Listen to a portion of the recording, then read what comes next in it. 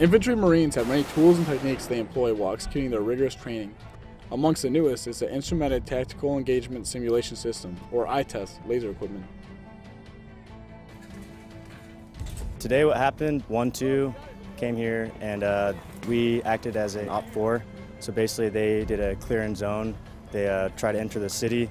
Uh, we set up some blocking positions and uh, basically harassed them and um, acted as the enemy and see how they, uh, how they respond to our tactics and vice versa. This innovative gear allows Marines to safely engage each other by form of laser tag.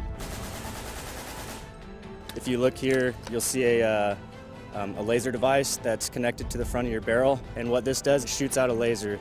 Um, and as far as uh, when it shoots out the laser, we're all wearing these uh, harnesses that are connected to our body armor as well as our Kevlar.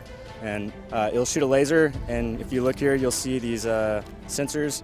These things basically uh, they collect the beams, and once you uh, shoot somebody, uh, the vest will go off and it'll make a buzzing noise. Uh, that's how it works. With the support of this technology, Marines will be able to train much more efficiently and effectively.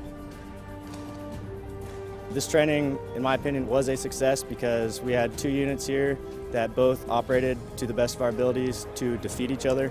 So um, they came in and we did everything we could to stop them, and they did everything they could to defeat us. Employments of new training gear such as the ITESS ensures Marines have the most modern and up-to-date equipment and systems to learn from, giving them the edge in combat.